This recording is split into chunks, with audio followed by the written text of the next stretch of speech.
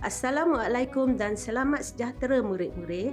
Saya Cikgu Faizah yang akan bersama-sama dengan murid-murid dalam sesi pengajaran dan pembelajaran bab 3 dalam mata pelajaran sejarah tingkatan 1 pada hari ini. Murid-murid, pada zaman ini ada pelbagai cara anda boleh menyatakan perasaan dan berkongsi pengalaman. Contohnya, murid-murid akan melukis dan menulis untuk menggambarkan perasaan dan cerita masing-masing. Lukisan dan cerita yang dihasilkan akan dilihat dan dibaca pula oleh rakan-rakan, guru dan ibu bapa. Sekiranya dimuat naik ke media sosial, akan dibaca pula oleh semua orang. Bukan setakat di Malaysia sahaja, bahkan boleh dibaca dari seluruh pelosok dunia. Hari ini, cikgu akan bawa murid-murid balik ke zaman dahulu. Zaman sebelum manusia mengenali tulisan. Di mana huruf dan abjad tidak wujud. Pada pendapat murid-murid, bagaimanakah manusia zaman prasejarah menceritakan kehidupan pada zaman dahulu? Murid-murid, apakah objektif pembelajaran yang perlu anda capai pada hari ini? Di akhir tontonan sesi pengajaran dan pembelajaran, murid-murid dapat yang pertama menyatakan maksud zaman prasejarah, memberikan contoh inovasi peralatan untuk kegunaan seharian dan kelangsungan hidup manusia prasejarah, menyenaraikan lokasi zaman prasejarah di dunia dan di Asia Tenggara, mencadangkan sekurang-kurangnya dua kepentingan memelihara dan memulihara tinggalan zaman prasejarah. Murid-murid, kita fahami dahulu apakah yang dimaksudkan dengan perkataan prasejarah. Pra bermaksud sebelum. Dalam bahasa Sanskrit, zaman prasejarah dikenali sebagai nirleka. Nir bermaksud tidak ada dan leka bermaksud tulisan. Oleh itu, maksud zaman prasejarah ialah zaman sebelum manusia mengetahui dan mengenal tulisan. Adakah murid-murid masih ingat maksud nirleka?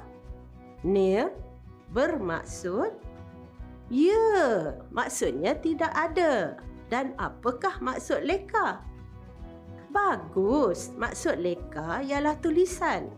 Murid-murid, zaman prasejarah terbahagi kepada dua zaman.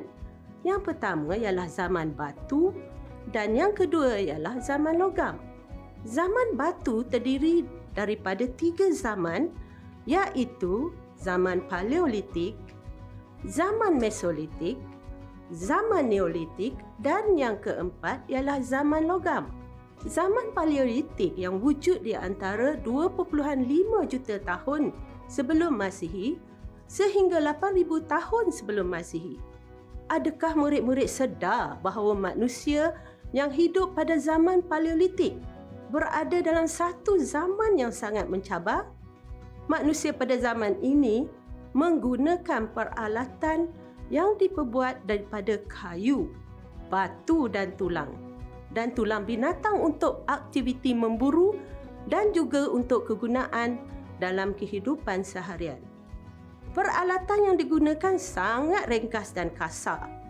Pada zaman Mesolitik, yang berusia di antara 12,000 tahun sehingga 4,000 tahun sebelum Masihi, peralatan yang digunakan oleh manusia masih sama.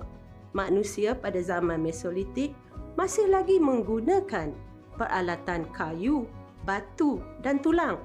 Walaupun begitu, kehidupan manusia telah berkembang menjadi bertambah baik jika dibandingkan dengan zaman paleolitik dan cuaca yang dialami pun telah berubah dan tidak terlalu sejuk. Manusia tidak lagi hanya berburu binatang.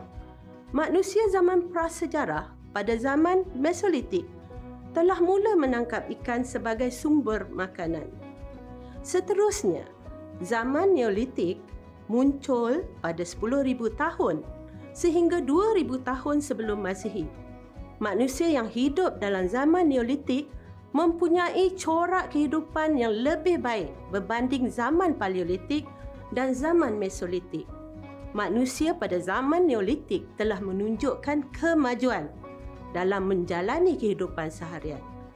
Perkembangan teknologi membantu manusia zaman ini membuat tembikar dan melakukan aktiviti bercucuk tanam. Manusia pada zaman Neolitik juga menternak binatang dan mewujudkan kawasan penempatan. Selepas tiga tahap zaman batu, muncullah zaman logam yang berusia di antara 3,500 tahun sehingga 500 tahun Masihi.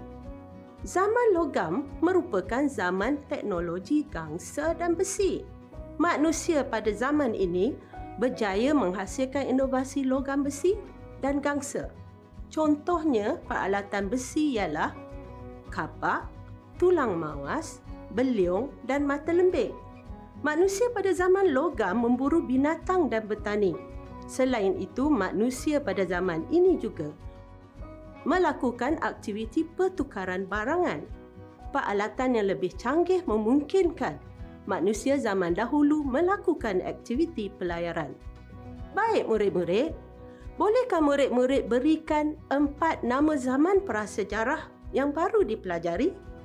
Nama-namanya ialah yang pertama, zaman Paleolitik, kedua zaman Mesolitik, ketiga ialah zaman Neolitik dan yang akhir sekali ialah zaman Logam. Adakah murid-murid telah menjawab dengan betul? Syabas!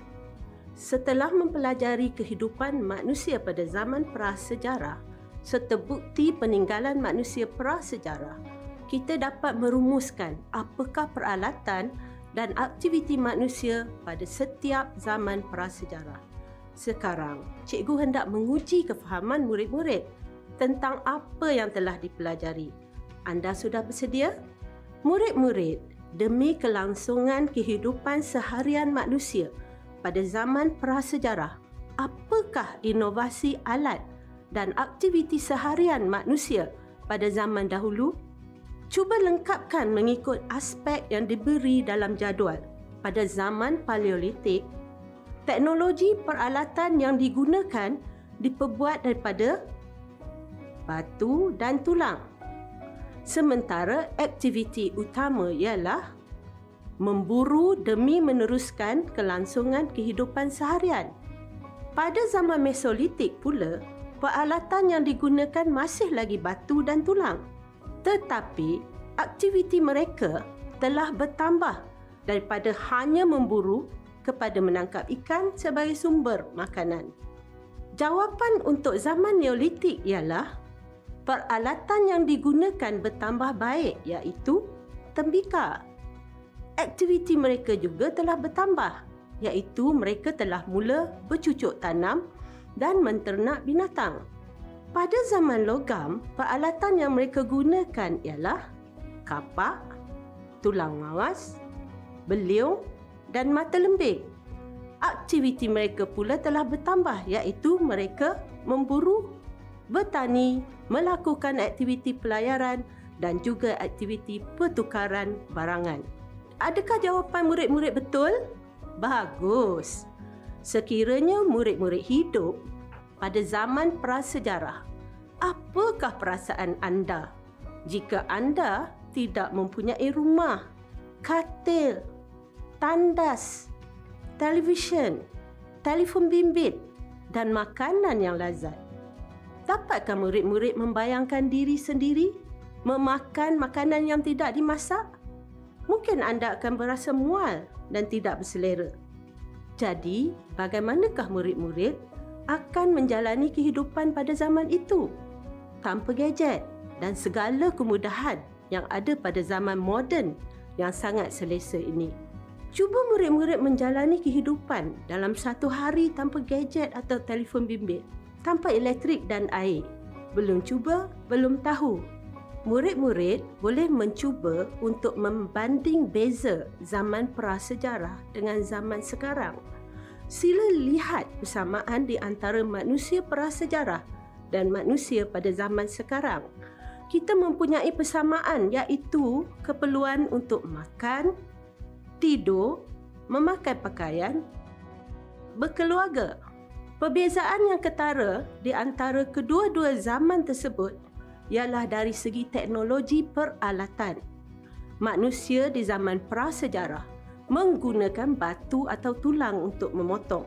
Sedangkan di zaman sekarang kita menggunakan pisau yang diperbuat daripada logam untuk memotong. Kebanyakan isi rumah menggunakan periuk-periuk elektrik dan hanya memetik dapur gas untuk mendapatkan api.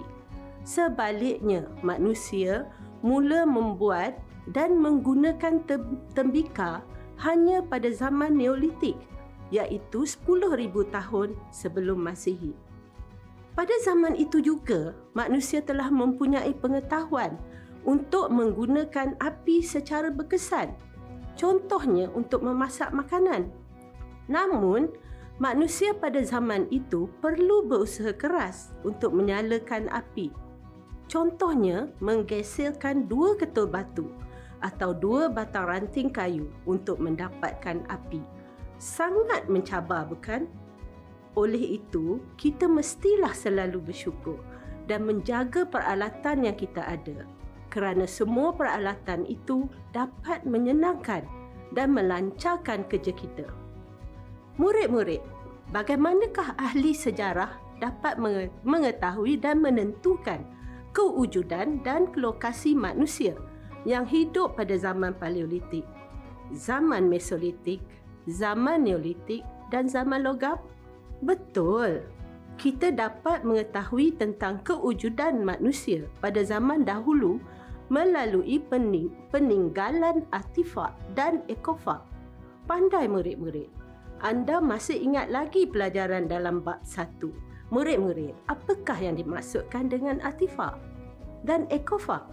Maksudnya ialah artifak merupakan peralatan ciptaan manusia yang digunakan untuk perburuan pertanian dan perdagangan. Ekofak bukti tinggalan data arkeologi yang menjadi petunjuk wujudnya kegiatan budaya manusia di sesuatu kawasan seperti bekas pembakaran, debunga tumbuhan, sisa kerang, arang dan tulang binatang. Murid-murid, melalui penemuan artifak dan ekofak, kita dapat mengetahui kawasan penempatan manusia zaman prasejarah di lokasi-lokasi di Asia Tenggara dan juga di dunia.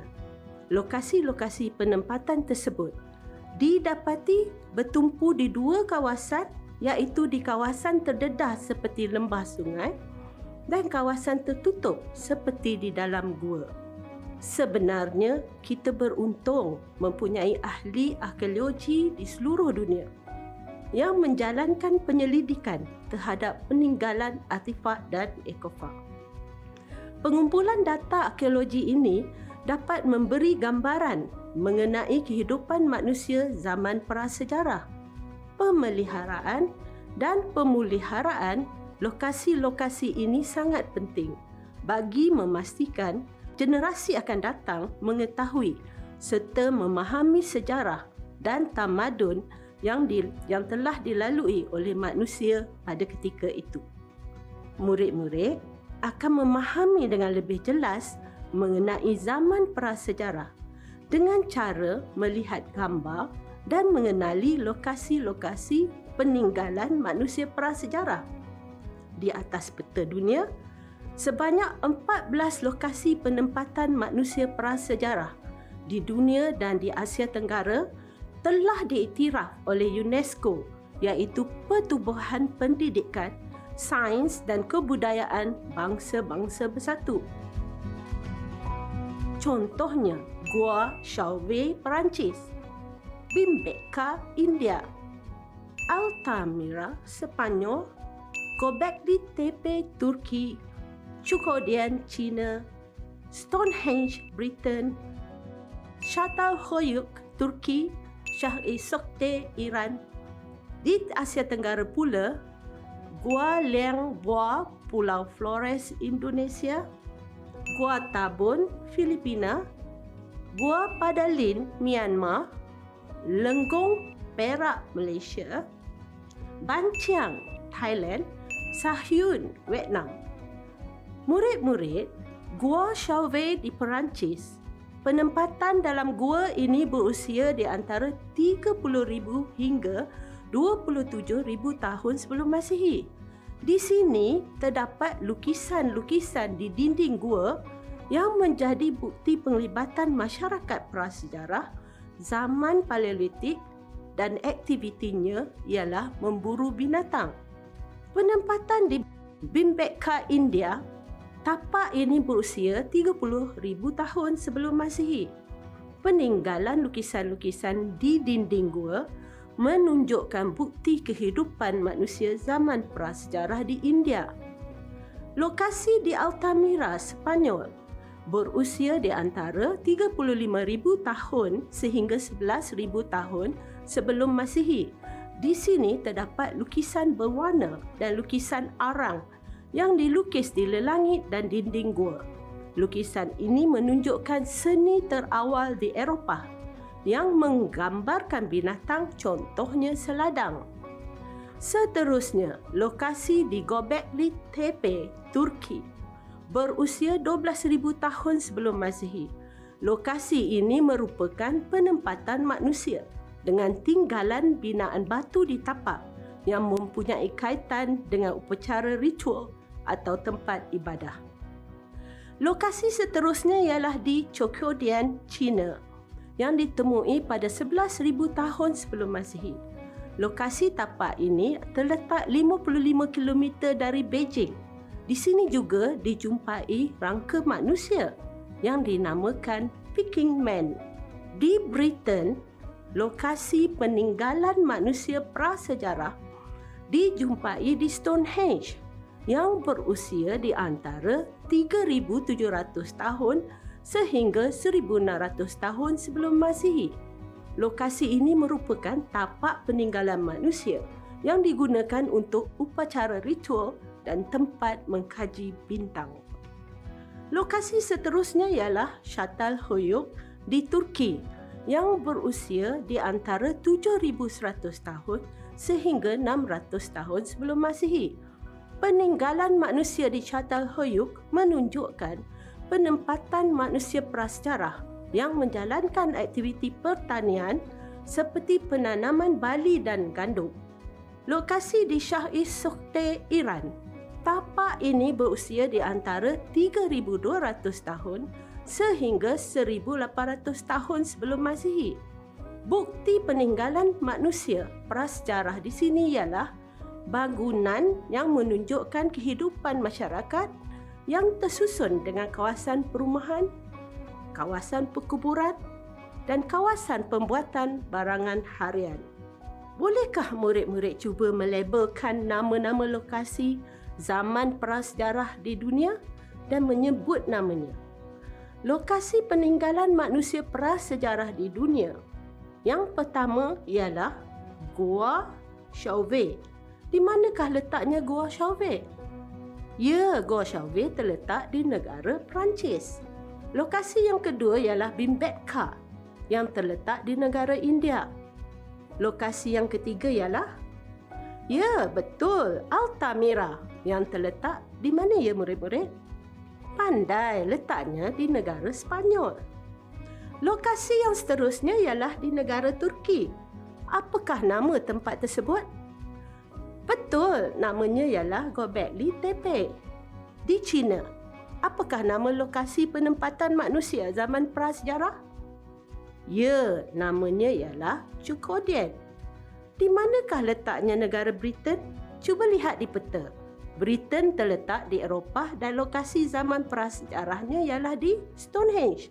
Bolehkah murid-murid bayangkan batu-batu besar yang terpacak di sana? Kita terfikir bagaimanakah orang-orang dahulu mengangkat batu-batu tersebut dan menyusunnya dalam bulatan. Nama lokasi seterusnya ialah Shah-i Sokte yang terletak di negara Iran. Dan akhir sekali ialah lokasi di negara Turki iaitu Shatal Huyuk. Itulah senarai nama-nama lokasi peninggalan manusia pada zaman prasejarah di atas peta dunia. Di Asia Tenggara, lokasi tertua yang ditemui ialah di Gua Liang Bua, Pulau Flores, Indonesia yang berusia di antara 94,000 sehingga 12,000 tahun sebelum Masihi. Di sini ditemui fosil dan sisa tulang Floresman atau Homo floresiensis iaitu manusia bersaiz kecil yang mempunyai ketinggian hanya tiga kaki.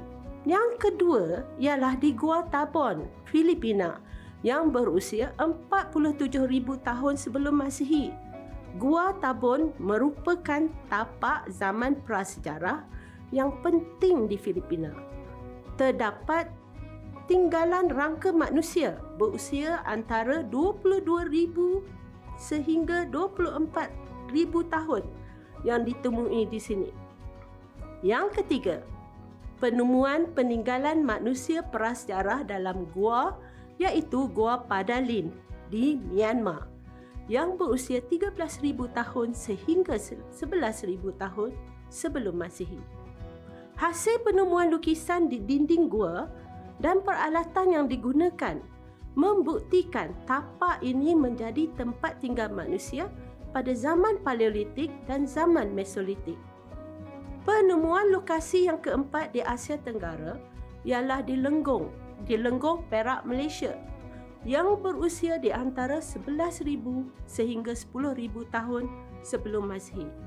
Penemuan rangka Perak Man di sini menjadi bukti penting perkembangan kehidupan manusia prasejarah dari zaman Paleolitik, zaman Hobbingian dan zaman Neolitik di negara kita. Perak Man merupakan rangka manusia tertua yang pernah dijumpai di Malaysia. Seterusnya, lokasi di Ban Thailand. Penempatan ini berusia di antara 3,600 tahun sehingga 500 tahun sebelum Masihi. Peninggalan penempatan di lokasi ini menunjukkan manusia di Ban menjalankan aktiviti pertanian, pembuatan logam, tekstil, tembikar tanah dan kegiatan menternak binatang. Penempatan ini merupakan tapak zaman Neolitik dan zaman logam. Penemuan tapak di Sahyun, Vietnam berusia di antara 1000 tahun sebelum Masihi sehingga 200 tahun Masihi. Lokasi ini merupakan tapak zaman logam yang paling menonjol di Asia Tenggara aktiviti utama di Sahyun ialah pembuatan tembikar. Sekarang, cuba murid-murid sebutkan kembali nama-nama lokasi zaman prasejarah di Asia Tenggara dan labelkan di atas peta yang ditunjukkan. Di negara manakah letaknya lokasi Gua Liang Bua? Ya, pandai di negara Indonesia. Bagaimana dengan Filipina? Apakah nama lokasinya? Jawapannya ialah Gua Tabon. Apakah nama lokasi di Myanmar pula? Bagus, nama lokasinya ialah Gua Padalin. Siapa tahu lokasi penemuan peninggalan manusia zaman prasejarah di negara kita? Adakah murid-murid masih ingat nama lokasinya? Ya, betul. Di Lenggong, Perak. Murid-murid tahu nama lokasi di Thailand? Cuba tunjukkan di atas peta. Ya, namanya ialah Banciang. Di manakah lokasi Sahyun di atas peta? Boleh murid-murid tunjukkan? Ya, bagus. Jawapannya ialah di Vietnam. Kini, murid-murid tahu bahawa dari peninggalan lukisan dalam gua, rangka dan tulang serta peralatan batu dan tembikar juga peninggalan struktur bang bangunan sangat membantu kita untuk mengkaji dan mempelajari cara hidup manusia pada zaman prasejarah. Pada pendapat murid-murid, setelah mempelajari zaman prasejarah di dunia dan di Asia Tenggara, adakah murid-murid menemui sebarang bentuk tulisan yang dihasilkan? Betul, tulisan masih belum dihasilkan dan masih belum wujud. Yang wujud ialah lukisan-lukisan pada dinding-dinding gua yang menceritakan serta memberi gambaran kehidupan manusia pada zaman dahulu. Murid-murid juga tahu bahawa manusia pada zaman prasejarah memberi keutamaan kepada inovasi peralatan daripada kayu, batu, tulang dan logam dalam aktiviti seharian. Untuk menambah baik kehidupan bagi meneruskan kelangsungan hidup. Adakah murid-murid masih ingat apakah yang dimaksudkan dengan zaman prasejarah? Ya, betul. Maksudnya ialah zaman sebelum manusia mengetahui dan mengenal tulisan. Murid-murid, apakah nama zaman sekarang? Bagus. Ya. Zaman sekarang dikenali sebagai zaman abad ke-21 atau zaman teknologi maklumat. Murid-murid juga berada dalam zaman kecerdasan buatan atau zaman AI kerana murid-murid dikelilingi oleh rumah pintar, televisyen pintar, telefon pintar, teknologi robotik dan sebagainya. Setakat ini dapatkah murid-murid melihat perkembangan tamadun dari 30,000 tahun sebelum Masihi hingga sekarang pada tahun 2020 Masihi di mana inovasi manusia pada setiap zaman iaitu zaman Paleolitik ke zaman Mesolitik dan dari zaman Neolitik berkembang ke zaman logam dapat memperbaiki taraf kehidupan dan seterusnya membuatkan kehidupan kita menjadi lebih selesa. Oleh itu, kita sewajarnya mengucapkan terima kasih kepada manusia prasejarah khususnya pada zaman logam. Manusia pada zaman logam gigih membuat inovasi logam besi dan gangsa dan masih berkembang sehingga sekarang di zaman revolusi industri keempat. Soalan yang terakhir untuk sesi pembelajaran pada hari ini ialah pada pendapat murid-murid, apakah kepentingan memelihara dan memulihara tinggalan zaman prasejarah? Cuba fikirkan ya. Ada dua jawapan di sini. Ya, melalui pemeliharaan dan pemuliharaan artifak dan ekofak, generasi akan datang dapat mengetahui dan memahami tamadun yang telah dilalui oleh manusia pada zaman prasejarah. Jawapan yang kedua ialah supaya generasi akan datang dapat menghargai tinggalan sejarah manusia pada zaman dahulu. Adakah murid-murid mempunyai pendapat yang sama? Bagus. Syabas cikgu ucapkan. Apakah perasaan murid-murid sekarang? Adakah murid-murid berasa bersyukur dengan teknologi dan peralatan yang ada di sekeliling murid-murid. Kini kita tahu betapa mencabarnya kehidupan manusia di zaman prasejarah. Kita telah melihat sedikit demi sedikit kemajuan yang manusia prasejarah telah hasilkan demi kelangsungan kehidupan seharian mereka. Bukti peninggalan lukisan di gua, sisa tulang dan peralatan di lokasi-lokasi penempatan yang telah kita pelajari memberi pengetahuan kepada kita mengenai kehidupan mereka. Kita mempelajari bahawa manusia itu berdaya maju dan berupaya menyesuaikan diri dalam apa jua keadaan. Baiklah murid-murid semua, sampai di sini dahulu pembelajaran kita pada hari ini. Semoga kita bertemu lagi ya murid-murid. Assalamualaikum dan selamat sejahtera semua.